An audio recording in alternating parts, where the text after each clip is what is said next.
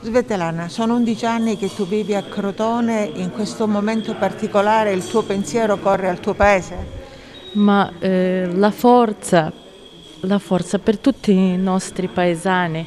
E, e, e devono, devono, crederci, crederci in quello che, eh, che, che vincono su, su, quel diavolo che, che sta entrando veramente, perché eh, non, è, non, è, non, è, dal Dio, viene, viene che...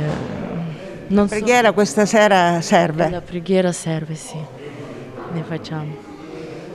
Ludmilla, un pensiero su questa guerra?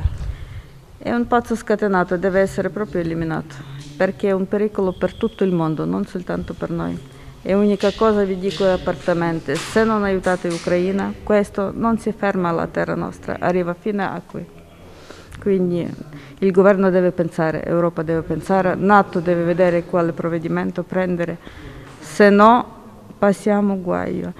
E ancora una cosa voglio dire, stanno, devono aiutare i profughi, devono aiutare i bambini con accompagnamento.